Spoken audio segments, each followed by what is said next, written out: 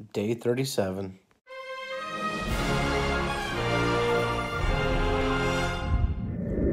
What's up, everybody? Today is day 37 of vlogging for a year straight.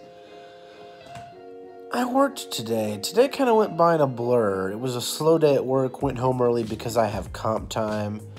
I took a nap when I got home. I also paid my electric bill. Did that today. Made some dinner. Just been taking it. It's just kind of been like a. The day's just kind of flown by. I think it's because I left work early. I don't know what it is about it. It almost felt like a day off because I got off early. I don't know. I'm just kind of feeling weird about that. I don't know. I like it, but you know. That was pretty much my day, to be honest. So, yeah, no new updates right now. Things going good. Paid my bills.